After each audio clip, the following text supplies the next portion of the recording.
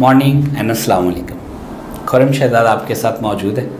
आज हम बात करते हैं आपके साथ हैप्पीनेस क्या है। बहुत सारे दोस्त पूछते हैं, खुशी की बेसिक डेफिनेशन क्या है?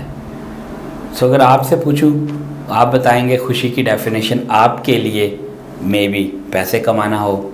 एक और साहब से पूछें तो वो हो सकता है कहेंगे कि करियर सक्सेस किसी और के लिए रिलीजियस सक्सेस सो हर एक की हैप्पीनेस की डेफिनेशन अपनी अपनी है। कुछ दोस्त कहते हैं लाइफ में जितनी सेटिस्फैक्शन है उतनी ही हैप्पीनेस होगी। अब वो सेटिस्फैक्शन किस चीज़ से मिलती है?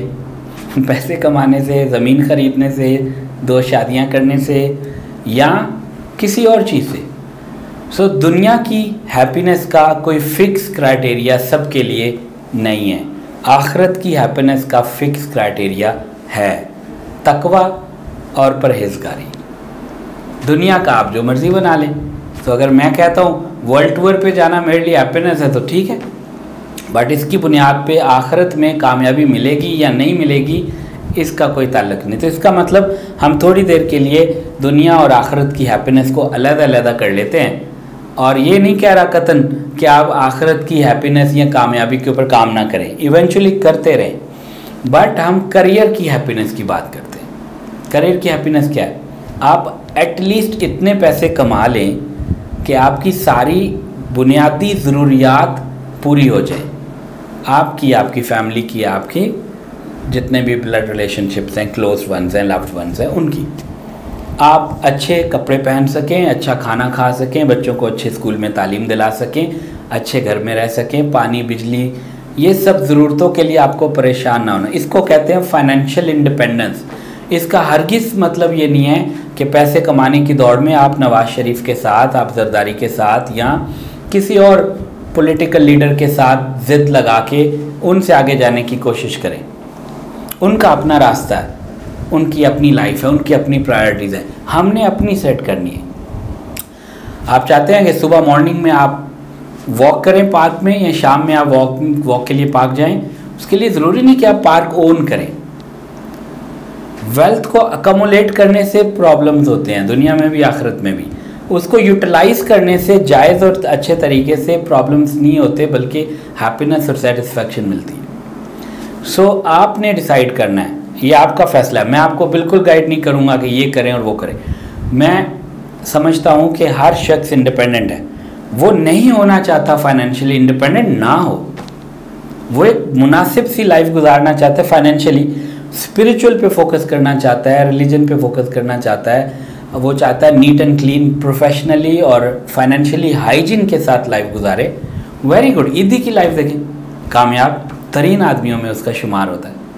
उसने पैसे इकट्ठे नहीं किए, लेकिन उसने उस पैसे का मसरफ ऐसा रखा कि दूसरों को फ़ायदा हो, उसको सेटिस्फेक्शन मिले और उस ईदी जब डेथ बेड पे था। लास्ट टाइम जब वो हॉस्पिटल पहुँचे बीमार होके तो उनसे किसी शख्स ने जवाब दिया कि आपने लाइफ में इतना कुछ किया और क्या करना चाहते हैं? तो उन्होंने कहा no I have done my part now I am just waiting for the day of my death ये बात हर शख्स नहीं कह सकता। इसमें क्यों उन्होंने ये बात की? कि उनका दुनिया का और आखरत का दोनों कामयाबियों का अल्टीमेट लेवल अचीव कर लिया था। सो so, हम बात कर रहे हैं सिर्फ़ पार्शल करियर सक्सेस की। आप कोशिश करें, अपने आप पे इन्वेस्ट करें नंबर वन हैप्पीनेस के लिए। आप अच्छे कपड़े पहने, अच्छी बात करें, अपने अंदर इखलाक पैदा करें, अपनी स्किल डेवलपमेंट पे काम करें। उसके लिए आपको गैजेट्स चाहिए ट्रेनिंग्स चाहिए बुक रीडिंग चाहिए, अच्छी सोसाइटी में जाना है, अच्छी तालीम चाहिए आपको। ये सब चीज़ों पे इन्वेस्ट करें। आप रोल मॉडल बनेंगे आपकी फैमिली के लिए, आपके बच्चों के लिए, आपके दोस्तों के लिए सबका फ़ायदा होगा। आप ही अपने ऊपर इन्वेस्ट नहीं करते और एक अजीब सी ज़िंदगी गुजार रहे हैं तो लोग आपसे क्या बेनिफिट ले सकते हैं? मिसाल के तौर पे, आप अपने ऊपर इन्वेस्ट करते हैं और आप minister of Punjab chief minister Punjab बन जाते हैं। अब आप अपने लोगों को, करीब तरीन लोगों को जायज़ फ़ायदा ज़्यादा दे सकते हैं या आप कुछ भी ना करें और आप एक बेरोज़गार आदमी के तौर पे अपनी ज़िंदगी गुजार रहे हैं चाहे आपके पास स्किल नहीं है जॉब नहीं है बिज़नेस नहीं है तो क्या फ़ायदा देंगे आप? आप जितना ग्रो करेंगे लोगों को फ़ायदा होगा। आपकी ज़ात को भी होगा आपके साथ जुड़े हुए लोगों को भी होगा। सो so, हैप्पीनेस के लिए एक और इंपॉर्टेंट चीज़ आपको बता दूँ। हम चाहते हैं कि हम चीज़ें अपनी लाइफ में ऐड करें तो खुशी आएगी। मैं आपको कहता हूँ ऐड करना छोड़ दें। पहले अपनी लाइफ में से वो चीज़ें रिमूव करें जो अनहैप्पीनेस का बायस हैं। मिसाल के तौर पे चार दोस्त ऐसे हैं जिनसे जब भी मिलते हैं वो स्ट्रेस देते वो आपको परेशान करते चाहे वो आपके दोस्त हैं, चाहे वो आपकी बीवी है, चाहे वो आपके कोई भी है। आप कोशिश करें उसके साथ अपने रिलेशनशिप को इस लेवल पे ले जाएँ कि आपकी वो स्ट्रेस का मकदार कम हो जाए। दो काम ऐसे हैं जो करके आपको अनहैप्पीनेस मिलती है। मिसाल के तौर पे आप अफोर्ड कर सकते हैं, लेकिन ड्राइवर नहीं रखा हुआ। ड्राइवर रख लो ड्राइविंग का काम रिमूव कर दो।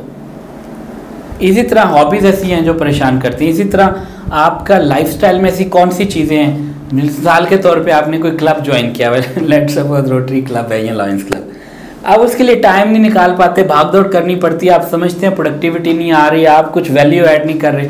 छोड़ दो, वो टाइम आप फैमिली को दो। आप खुद से जितनी सोशल सर्विस कर सकते हो, कर लो। आप, मैं, मैंने भी इसी तरह किया, मैंने रोटरी क्लब छोड़ दिया लॉयंस क्लब छोड़ दिया और बहुत सारी ऐसी चीज़ें छोड़ दी। ऑटोमेटिकली मेरे पास टाइम बच गया। अब उस टाइम की, का मसरफ क्या होगा, याद रखें, इंसान की जो इंटरनल इंटरेस्ट होती है, वही वो फारिग टाइम में करता है।